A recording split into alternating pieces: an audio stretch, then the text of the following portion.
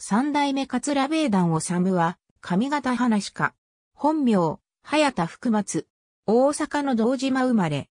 三代目、桂文団治門下で、初代米歌子、1894年頃、初代舞之助、1896年1月、二代目米朝を経て、1910年3月、三代目、米団治を襲名。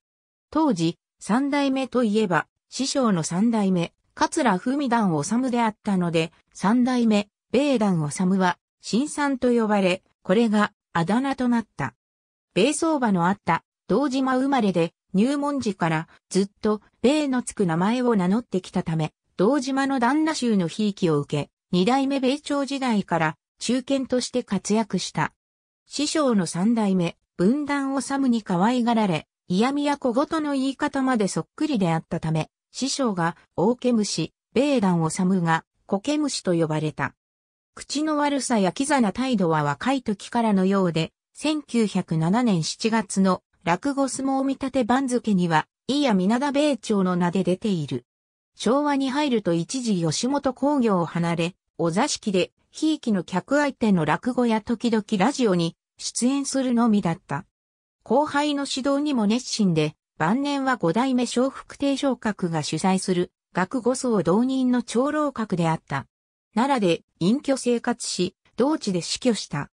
情報落語の絶頂期に修行を積んだだけあって、舞踊、音曲も巧みで、人情話、芝居話、怪談話、旅ネタまであらゆる話に通じており、いずれも名人の域であったという。18番は、手切れでっち。その他にも、逆さまかや、深山隠れ、大黒頭巾など。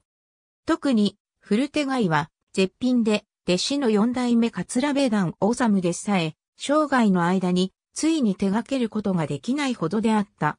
SP レコードは、一枚気象、大安売り、布あざネズミ、月並みで地等を1925年から1926年頃に吹き込んでいる。